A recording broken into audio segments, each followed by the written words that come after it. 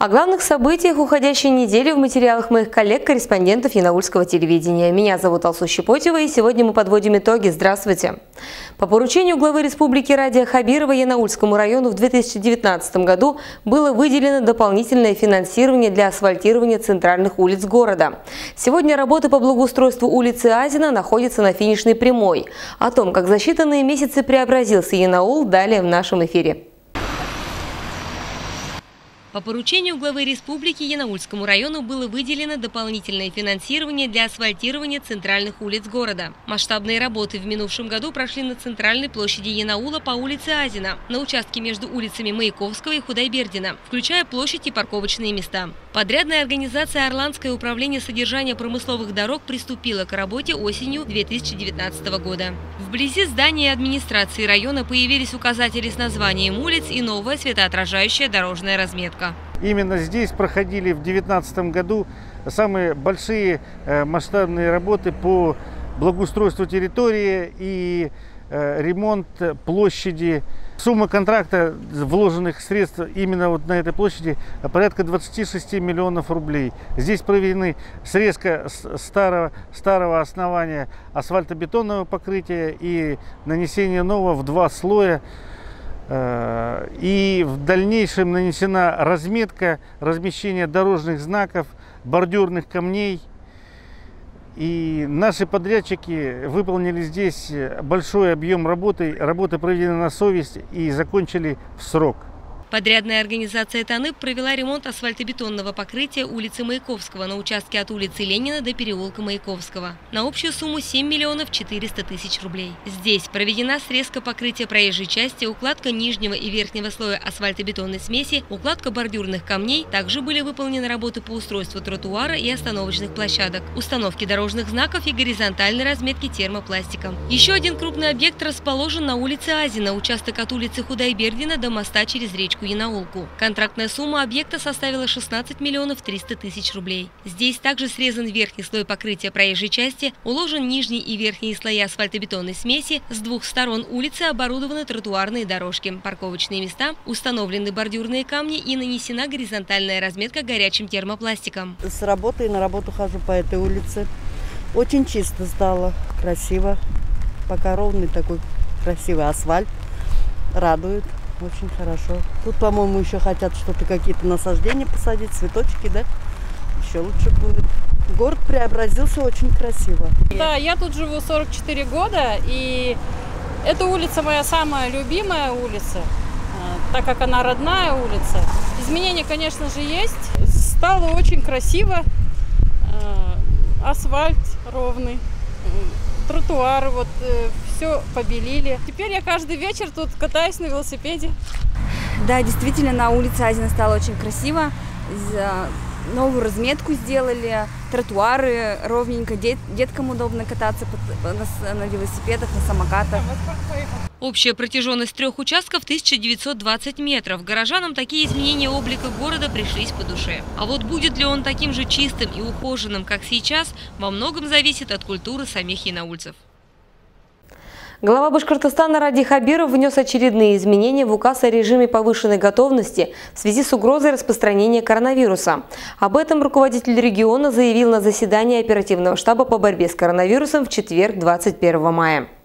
Обязательный режим самоизоляции сохраняется в отношении лиц старше 65 лет и граждан, имеющих хронические заболевания, а также тех, кто проживает совместно с ними. Исключение делается для приобретения продуктов питания, лекарств, а также для поездок на дачные участки или в загородные дома при наличии паспорта и правоустанавливающего документа на недвижимость. Кроме того, самоизоляцию по месту проживания в течение 14 дней должны соблюдать вахтовые рабочие. Все мы обязаны использовать маски вне места своего проживания, в магазинах, в местах массового скопления людей, общественном транспорте и такси, также надевать перчатки. В этом году День поминовения и почитания, учрежденный главой Башкортостана, состоится 6 июня. Такое решение принято после консультации с духовными лидерами и по многочисленным просьбам жителей. В этот день кладбища приведут в порядок, вывоз мусора и уборка территории будут организованы силами коммунальных служб. 6 июня все кладбища будут работать в обычном режиме. Те, кто заболел коронавирусом при исполнении своих служебных обязанностей, смогут пройти реабилитацию в лучших санаториях республики. Речь идет прежде всего о врачах, социальных работниках, волонтерах, сотрудниках Роспотребнадзора и правоохранительных органов. Спортивные учреждения республики по-прежнему будут закрыты. Оснований для возобновления их работы пока нет. Вместе с тем глава Башкортостана готов принять решение о возобновлении тренировок для профессиональных команд и членов российских сборных. Общее количество подтвержденных пациентов с коронавирусом с начала пандемии в Башкортостане превысило 2500 человек. Мы продолжаем следить за ситуацией с COVID-19 в нашем районе. Подробнее о ней нам расскажет врач-эпидемиолог Гульчачак Нурулина. На 21 мая в Янаульском районе зарегистрировано 18 подтвержденных случаев COVID-19. Из них два пациента получают необходимую специализированную медицинскую помощь в стационаре, 8 пациентов с легкой формой течения заболевания наблюдаются на дому и 6 пациентов сняты с учета с выздоровлением. У двух граждан Янаульского района подозревается COVID-19 – один из них наблюдается на дому, один госпитализирован в инфекционное отделение Нефтекамской больницы. Также э, продолжается плановый забор мазков у групп риска на COVID-19. За весь период работы проведено 991 исследование, в том числе у контактных лиц 313 человек, у пациентов с признаками респираторного заболевания 32 человека – у пациентов, госпитализированных в пульмоблок с диагнозом внебольничная пневмония, 39 человек. Все лечебно-профилактические учреждения района работают в режиме повышенная готовность. Обращаю внимание населения. Соблюдайте меры профилактики коронавирусной инфекции. Носите маски. Регулярно обрабатывайте руки и мойте с мылом. Соблюдайте дистанцию как минимум 1,5-2 метра. Сейчас режим самоизоляции более свободный, но по республике, как вы слышите в новостях, с каждым днем выявляются новые случаи заболевания. Поэтому рекомендуем без необходимости не выезжать за пределы района. Мы, медицинские работники, надеемся, что вы продолжите соблюдать все меры профилактики данного заболевания. Будьте здоровы! С начала мая все хозяйства нашего района приступили к весенне-полевым работам. Всего в планах обработать более 27 тысяч гектаров. В настоящее время в среднем по району засеяно 80% площадей, в том числе свыше 18 тысяч гектаров яровых, зерновых и зернобобовых. Полным ходом идет посевная на полях общества с ограниченной ответственностью ИТС «Агро». Полевые работы в хозяйстве сейчас в разгаре. Сегодня на полях с помощью дискаторов готовят почву к посадке. Трудно представить, но стаж работы на полях механизатора Сергея Васильева уже больше полувека. Признается, что за эти годы работа давно стала привычной, да и новая техника значительно облегчает труд сельского жителя. Ну, считай, 17 лет начал работать, вот, 67. Я всю жизнь трактористом работаю в колхозе. Первый Алексеевском работал вот три года, сейчас вот Братушине начал работать. Работа у нас вон, поле обрабатывает на посев. Все. Осень пахать. Ну, с утра в 8 начинаем и до 8 вечера работаем. Тем временем на соседних полях идет сев. Вместе с семенами вносятся и минеральные удобрения. Пока погода позволяет, аграрии стараются сделать максимальный объем работы. В хозяйстве планируется обработать 2500 гектаров весной и 4000 гектаров осенью. По словам руководства фирмы, в этом году главный акцент сделан на качество. В хозяйстве стараются вести все процессы строго соблюдая технологию. Весенние полевые работы начали 3 мая, начали с посева э, ячменя, у нас по плану было 250 э, гектаров ячменя, мы его отсеялись, и 300 гектаров пшеницы мы отсеялись. На сегодняшний день мы как бы засеваем кукурузу, у нас по плану 300 гектаров, 120 уже засеяно, и также вот засеваем от налетку. По, по сравнению с прошлым годом э, у нас получается, у нас же как бы две параллельные агрофирмы, Братовщина и Старая Кудашева. У нас Братовщина в основном все там зерновые, там более 1000 гектаров пшеницы, также техническая культура там 600 гектаров будет, а здесь в основном кормовые будет. В этом году закуплено на более 30 миллионов э, миллион рублей удобрений. Вот мы на зерновые э, этот, вносим удобрения на гектар по 250 килограмм. Это 10 веществ, получается 100-110 килограмм вещества. На полях на оба хозяйства работают более 15 единиц техники. Людей, если не хватает, они пересаживаются с одного трактора на другой. Для, по этому поводу у нас как бы ставится специальный коэффициент. Коэффициент это универсальности на зарплате там до 30%. Так, и как бы по ходу в этом году закупили 147 голов э, племенного скота. Их завезли, уже начали телиться. Будем надеяться на хорошее молоко. В этом году фирма закупила импортные семена люцерны на 600 гектаров. Все свои комплексные поля планируют засадить многолетними культурами. Сейчас почти половина работ позади. С утра до вечера работники трудятся на полях, чтобы успеть закончить посевную в срок. Как признают сами аграрии, главное, чтобы осенью уродился хороший урожай. Гульнара Сиддикова, Нил Сафин, служба новостей и научского телевидения. Сотрудники образовательных учреждений города и района вновь вышли на улицы Янаула. Основная задача педагогов – донести до школьников требования соблюдения режима самоизоляции.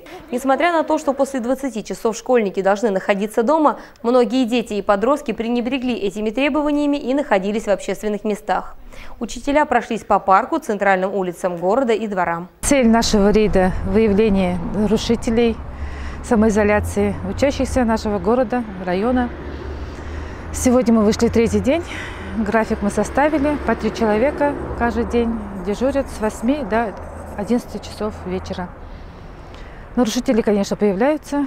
Мы с ними ведем беседу профилактическую. В основном, да, гуляют, конечно, студенты. Выходим, место нашего рейда – это в основном парк культуры и отдыха, торговые центры, так по улице прогуливаемся. Ну, я бы не сказала, что так сильно много нарушителей, но есть. Майские дни радуют теплом, а значит совсем скоро все городские клумбы начнут радовать своей красотой и цветочным ароматом. Сегодня на улице города вышли сотрудники общества с ограниченной ответственностью и наул благоустройства. На подготовленных клумбах идут работы по разметке гряды и высадке цветов. В этой бригаде работает пять цветочниц. Все они трудятся не первый год на этом предприятии. Работа на участке спорится, дел в погожие дни у них немало. Мы сажаем клумбы на улице Советская, э, тематики ко Дню Победы. Высаживаем бархатцы, сальвии, агератум. Также будем сажать все клумбы города по городу. Светофор Азина Худайбердина – круг советская, э, дом быта треугольник. КП мы посадили в понедельник. День чистоты прошел в нашем районе 20 мая. Если ранее в условиях самоизоляции борьбой с мусором занимались в основном работники коммунальных служб, то на этот раз присоединиться к нему могли все трудовые коллективы. Сотрудники организации благоустраивали прилегающие территории, убирали мусор, скашивали сорную траву, высаживали цветы на прилегающих территориях. А так как были запреты по коронавирусу на проведение Дней чистоты. А с сегодняшнего дня эти запреты указом главы а, смягчены, и теперь а, в режиме, масочном режиме проводятся Дни чистоты э, во всех э, и в, и в нашем городе, и во всех сельских поселениях. Соблюдали масочный режим, расстояние друг от друга – перчаточный режим. Все, все сельские поселения на сегодняшний день занимаются покосом сорной растительности и тоже высадкой а, цветов. До этого а, в основном занимались а, сборкой мусора, а, сборкой отходов а, на прилегающих территориях, на, терри на территориях а, окраин города. Сельсоветы на своих окраинах занимались уборкой э, всей остаточной массы, которая осталась от, от зимы. Это сухие ветки, э, в основном. Э, то есть в дальнейшем планируется еженедельный, еженедельное проведение Дней чистоты. Э, будем заниматься так как в этом году год эстетики, будем заниматься наведением а, красоты э, в нашем городе и в нашем районе. Очередной инвестиционный час прошел в администрации района 21 мая. На встречу с главой администрации района, его заместителями, представителями различных ведомств пришли жители Новартаульского сельского поселения Ильсур Амиров и Рашид Ахтямов. Они обратились с вопросом об организации рыболовства для отдыхающих на пруду вблизи деревни Варяж. Также в режиме видеоконференции участие в беседе принял руководитель агентства Республики Башкортостан по предпринимательству Рустам Зубаиров. Специалисты администрации дали разъяснения по возможности ведения предпринимательской деятельности, участию в республиканских программах и дальнейших необходимых шагах. В продолжении встречи они обсудили ход реализации инвестпроектов, рассмотренных на предыдущих предпринимательских часах. На территории нашего сельского поселения находится пруд Варяж, это между деревней, деревней Варяж и села Новый Артау. Э, и этот пруд э, оно оформлено в собственности э, за сельским поселением. Э, и с 2017 года, э, с августа 2017 года э, наши жители, это Амиров Ильсур Наркисович и Ахкямов Рашид Рафинович, они арендуют этот пруд. И вот сегодня в предпринимательском часе в администрации мы обсудили вопрос с целью, чтобы эти ребята занимались, продлили этот договор аренды и эм, постарались заняться предпринимательской деятельностью. Э, со стороны администрации сельского поселения мы, конечно, очень рады, что есть э, люди, которые действительно вот содержат. Это, во-первых, э, эти ребята у нас вот с 2017 года уже занимаются, можно сказать, даже благоустройством. Это уборка территории пруда. Они на сегодняшний день смастерили мостики, это удоб, удобство для рыболовства, э, поставили емкости для сбора мусора. И самое важное, они ежегодно контролируют пропуск весеннего, э, период весеннего половодья, пропуск воды. Э, можно сказать, они дежурят. Это очень ответственный момент. Но на сегодняшний день, конечно, э, жители э, интересуются, действительно ли есть возможность просто вот подойти к пруду рыбачить. Да, это водный объект, зеркало реки, пруда, это считается в любом случае согласно федерального закона, это федеральная собственность. Поэтому э, каждый человек имеет право э, передвигаться, рыбачить. Э, а сегодня уже в предпринимательском часе мы в основном обсудили именно тот вариант, что за какие услуги эти ребята могут ну, оказать платные услуги, именно за какие-то определенные деятельности конкретно. А так э, мы людям объясняем, что они могут э, свободно подходить э, рыбачить, отдыхать, ну, соответственно, конечно же, соблюдать чистоту, порядок за собой. 24 мая мусульмане всего мира отметят праздник Ураза Байрам. Он ознаменует окончание священного месяца Рамадан, месяца обязательного поста и молитв. В связи с непростой эпидемиологической ситуацией необходимо отказаться от привычных массовых молитв и традиций собираться в этот священный праздник большими компаниями. Председатель Духовного управления мусульман Российской Федерации и Совета муфтиев России Равиль Гайнуддин призвал верующих принимать все меры предосторожности против COVID-19 и провести праздник Ураза Байрам в тесном кругу семьи. В Башкортостане празднование Уразы Байрама в этом году пройдет в онлайн-режиме. Во время Уразы, несмотря на угрозы жизни, мусульмане добросовестно исполнили свой, свой долг. Э, во время светлого дня они не пили, не кушали, были, не думали о плохих вещах, старались все э, людям пом помогать в этом плане.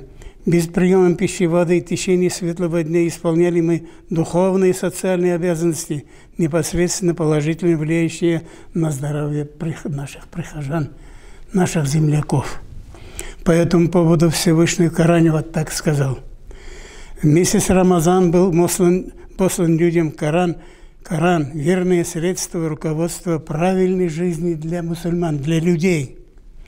Поэтому этот благословенный месяц дает все возможность для совершения благих дел, хороших дел для всех. Аллах желает вам облегчения – и не желает затруднения. Он наставляет на правильный путь нас. Быть может, вы будете благоразумны и благодарны, он говорит в Коране. Уважаемые, Рамазан – месяц поста милости и прощения. У кого какие грехи были, кто недоработал, кто нарушил свои обязанности мусульманина.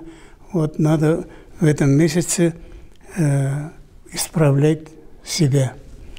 Поэтому все люди, и не только мусульмане, должны прилагать все свои усилия для полезных деяний в своей жизни и исправлять свои поступки, если они имеются.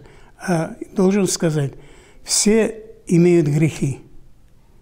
Надо вовремя это осознать и вовремя тауба, и больше не повторять, чтобы не огорчать своих родителей, своих детей, своих родственников. Уважаемые жители Янаульского района, от всей души поздравляю вас с светлым радостным праздником Уразагаид. Этот праздник показывает силу духа и воли наших мусульман, мусульманок, даже э, в непростых условиях карантина. Пусть Всевышний примет наш пост, добрые поступки и молитвы. В честь этих духовных деяний пусть в наших домах будут достаток, в семьях счастье, и в нашей родной стране царит мир и благоденствие. В России ежегодно от транспортных наездов погибает около 10 тысяч детей. В травматологические пункты обращаются свыше 500 тысяч детей с различными травмами. Лето – одно из самых опасных времен года. Дети на каникулах нередко остаются без присмотра взрослых. Одной из самых действенных мер предупреждения детского травматизма остается профилактика. Тему продолжит инспектор по пропаганде безопасности дорожного движения Зульфат Саляхов. За 4 месяца текущего года в Республике Башкортостан зарегистрировано 86 автомобильных аварий с участием детей и подростков, в которых погибли четверо несовершеннолетних и 87 получили травмы. Э, на территории Янаульского района зарегистрировано одно ДТП с участием несовершеннолетнего пассажира. В целях профилактики детского дорожно-транспортного травматизма на территории Янаульского района с 18 мая по 5 июня будут проводиться профилактические мероприятия «Внимание, дети!» Основное внимание сотрудников госавтоинспекции будет уделяться правилам перевозки детей автомобильным транспортом, фактам непредоставления преимущества движения пешеходам и фактам управления несовершеннолетними транспортными средствами, не имея прав управления. По статистике, ежедневно в пожарах погибает свыше 20 россиян. Их число возрастает в периоды, когда большинство людей находится дома, как, например, в летние каникулы. О мерах пожарной безопасности и о правилах поведения в случаях возникновения возгорания рассказал начальник Янаульского межрайонного отдела надзорной деятельности и профилактической работы Руслан Хамадулин. Основными причинами пожаров являются неосторожное обращение с огнем, в том числе детская шалость со спичками. Второе неисправность электрооборудования. Третье. Неисправность отопительных печей. И во всех основных причинах пожаров виновником пожара является человек. И чтобы ваше пребывание дома и на каникулах было безопасно, я бы хотел напомнить вам об элементарных правилах безопасности при обращении с электричеством. Первое. Не пользуйтесь неисправными электроприборами. Никогда не оставляйте включенными электроприбор без присмотра. Выходя из дома, выключите свет, даже телевизор и телефон. Не включайте в одну розетку несколько электроприборов. Не прикасайтесь к включенному электроприбору мокрыми руками. Нельзя пользоваться электрическими устройствами, находясь в воде. И главное, нельзя тушить водой горящие электрические устройства, подключенными в электрическую сеть. Соблюдайте элементарные правила пожарной безопасности. Не сжигайте сухую траву и мусор – не оставляйте костер горящим после покидания стоянки. Ни в коем случае не балуйтесь со спичками, не жгите траву, потому что остановить пал травы очень трудно. Не оставляйте в лесу стеклянную посуду, которая в солнечную жаркую погоду может сфокусировать солнечный свет, луч и возникнет пожар. Что же необходимо знать детям для того, чтобы предотвратить трагические случаи во время пожара? Первое. Если же в доме возник пожар или в квартире и рядом нет взрослых, необходимо первое – не паниковать, постараться быть собранным и внимательным, вызвать пожарную службу по телефону 01, по мобильному 112 и 101 и сообщить взрослым. Также по телефону необходимо сообщить свою фамилию, точный адрес и сказать, что и где горит. Если необходимо, позвать на помощь соседей. Не пытайтесь погасить сильный пожар самостоятельно. старайтесь быстро покинуть помещение, комнату, нужно постараться покинуть квартиру. Дым больше опасен, чем огонь. Если в помещении дым, необходимо закрыть нос влажным платком, лечь на пол и ползком пробираться к выходу. Внизу дыма меньше. Если горит соседняя квартира и в тамбуре и на лестнице уже огонь, и нет возможности выхода на лестницу на улицу, необходимо уплотнить входную дверь, обливать ее водой до приезда пожарных подразделений и через окно позвать на помощь. Правила пожарной безопасности в лесу.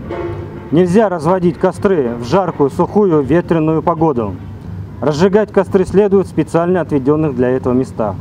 Хорошо, что если около места разведения костра будет находиться вода и ветки для захлестывания огня на случай распространения пламени. Нежелательно разводить костры рядом с деревьями, так как можно повредить их. Если в лесу начался пожар, главное не дать огню распространиться. В случае, если потушить огонь своими силами не удалось, необходимо вызвать пожарную службу по телефону 01 101 или 112. Берегите себя и своих близких. И это, пожалуй, все новости к этому часу. Оставайтесь с нами и приятных вам выходных.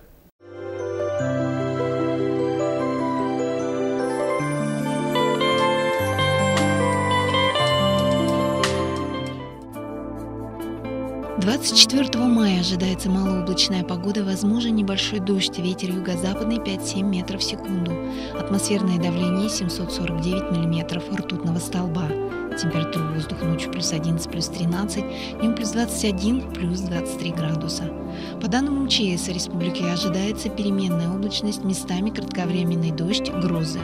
Ветер западный 5-10 метров в секунду, местами порывы до 15-20 метров в секунду. Температура воздуха ночью плюс 7, плюс 12, днем плюс 17, плюс 22 градуса.